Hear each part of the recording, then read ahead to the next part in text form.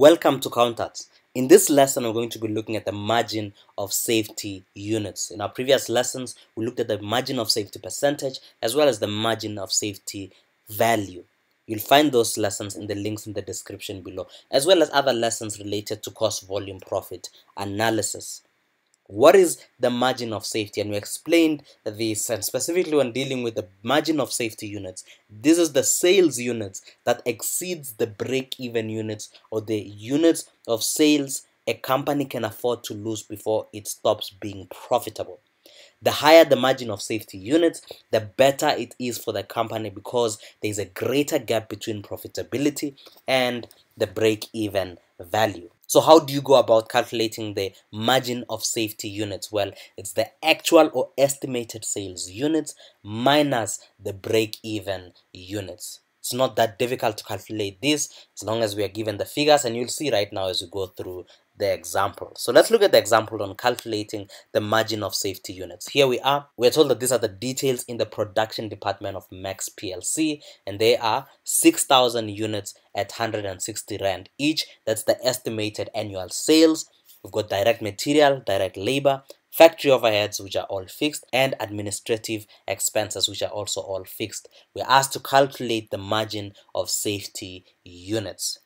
What is our formula once again? Well, here it is. It's the actual or estimated sales units minus the break-even units. Now, let's go about calculating these two. Firstly, the actual or estimated sales units. Well, our actual or estimated sales units is already given. As you can see here, estimated annual sales, 6,000 units at 160 Rand each. So we have the 6,000 units, which is the estimated sales unit. So we're already given that one. It makes our work easier. The only one we have to calculate is our break even units. If you checked out our previous lesson on the break-even quantity, you find that we went through the exact same example. But let's go through it. How do you calculate your break-even units? Well, the formula is quite easy as well. It's the fixed costs divided by the contribution per unit. The fixed costs we already given.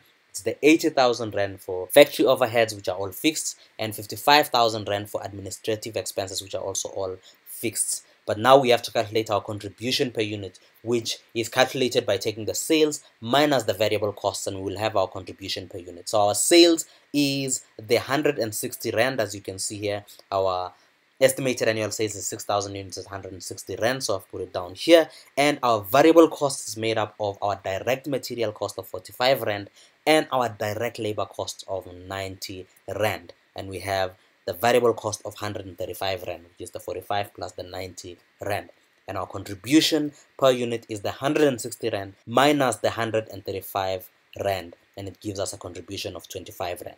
Now that we have our contribution of 25 Rand, we take our fixed cost, which is the 80,000 Rand plus the 55,000 Rand, divided by the 25 Rand contribution, and it gives us 5,400 units. That is our break-even quantity or our break-even units. Now that we have our actual or estimated sales units and we have our break-even units, we can get our margin of safety units, which is 6,000 minus 5,400 gives us 600 units. Now, what does this mean? Why do we calculate the margin of safety units? Well, we're calculating it because we want to see by how much do our sales units have to fall by before it starts being unprofitable or before we start making a loss. Well, if our sales fall by 600 units or more, then we will stop being profitable. Or if our sales units drop by more than 600, we will start incurring losses the greater the margin of safety units is, the better it is for the company because the company is able to deal with fluctuations in sales. But the smaller the margin of safety units is, the less room the company has to deal with the fluctuations in sales. So if sales are to suddenly drop or to suddenly change because of an event or anything that might happen, the margin of safety units tells you how much room the company has in losing the sales units is expecting to sell before it stop being profitable. So the 600 units is how much the company is able to sell over and above the break even units and that is why we calculate the margin of safety units. I hope you've gained value from this lesson. I hope you've learned something and if you have, consider subscribing to our channel, like this video and share it to those who think it might help. Till next time, cheers.